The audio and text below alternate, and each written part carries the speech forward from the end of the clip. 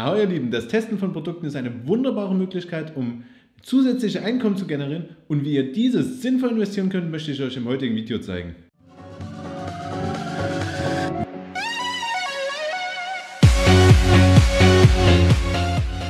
Letztes Jahr habe ich auf verschiedenen Plattformen bis zu 20% Rendite gemacht ähm, und das bringt mich mein Ziel der finanziellen Freiheit immer wieder näher.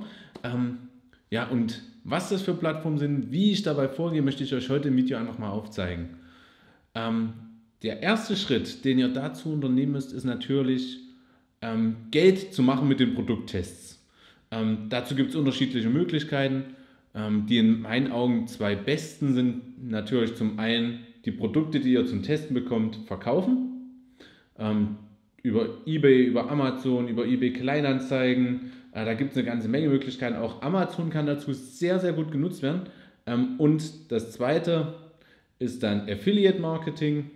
Und wenn ihr wirklich groß seid, als dritte Möglichkeit äh, wäre dann noch, dass ihr über Blockforster verschiedene Kampagnen macht und dafür dann auch bezahlt werdet. Aber für die meisten ist es wohl äh, verkaufende Artikel und Affiliate Marketing. Ähm, ja, damit verdient ihr Geld über eure Produkttests und das könnt ihr investieren. Ähm, meine absolute Lieblingsplattform dazu, oder meine Lieblingsmethodik viel eher, sind die sogenannten P2P-Kredite, ähm, also Private-to-Private-Kredite. Das heißt also, ihr bezahlt Kredite aus an Privatpersonen. Äh, klingt ein bisschen unheimlich, ist aber mittlerweile auch schon seit einigen Jahren äh, in Deutschland sehr etabliert. Äh, Bondora kennt zum Beispiel fast alle mittlerweile.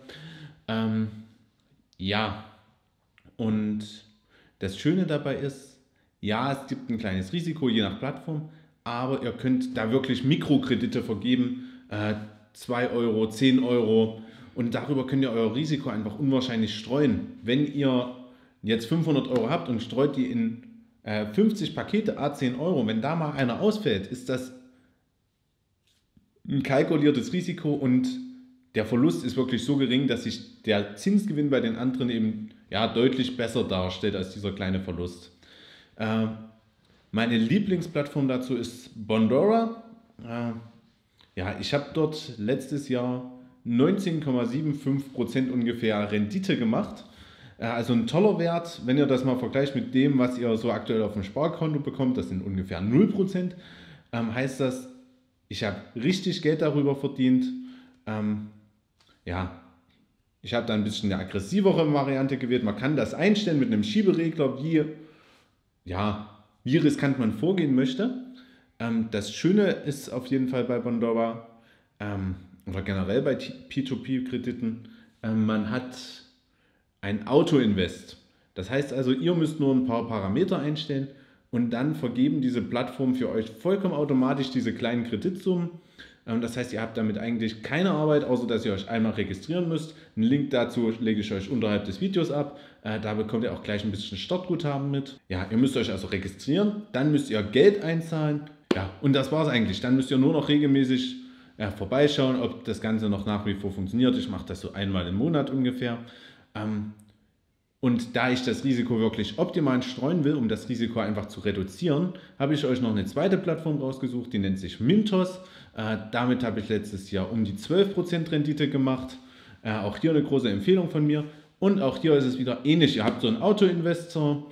Ähm, ja, und dieser investiert eure Summe, die ihr einbezahlt habt, einfach direkt für euch automatisch. Äh, Link wieder zur Anmeldung unter dem Video. Auch hier kriegt ihr einen kleinen Startbetrag.